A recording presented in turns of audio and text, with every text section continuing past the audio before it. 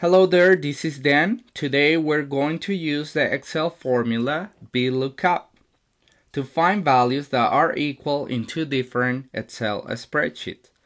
I have here my Excel spreadsheet with different products. I want to find from these two spreadsheets which SKU numbers are the same and if the SKU number matches it will copy the location of the product in this column. So I don't have to look individually if I have a spreadsheet with thousands of products. These first spreadsheets contain the product register including the location in our warehouse. The second spreadsheet contains a small order that I received from one of our suppliers and I want to find out where do they go in our warehouse. So in this spreadsheet, I will put the formula VLOOKUP equal VLOOKUP.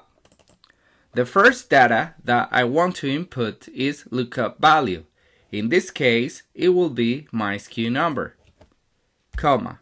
The second data is table array. Table array is the table where I'm looking for these values. In this case, I want to check all this data. So I can select all this table, comma, and I want to copy the location. In this case, I will input number 3. SKU number is the column number 1, name is the column number 2, and location is the number 3. Now I can close parentheses and hit enter. As I can see, it had copied the location from the other list of products. Now, I just want to drag the formula for the rest of the products.